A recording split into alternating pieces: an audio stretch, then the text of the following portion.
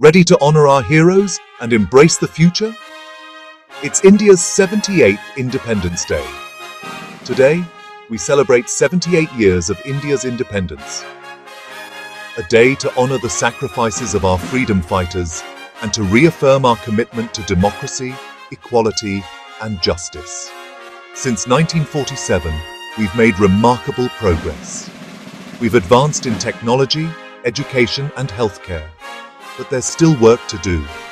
Together, we can advocate for the rights of all Indians, regardless of caste, religion, or gender. We can tackle issues like poverty, illiteracy, and inequality. Our nation is strong, resilient, and ready to overcome any challenge. This Independence Day, let's pledge to work together for a brighter future. Happy Independence Day, India.